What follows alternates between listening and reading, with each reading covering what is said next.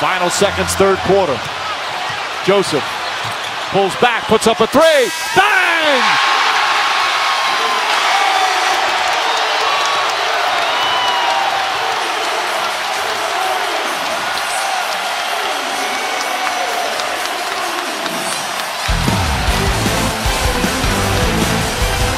The Toronto native from downtown.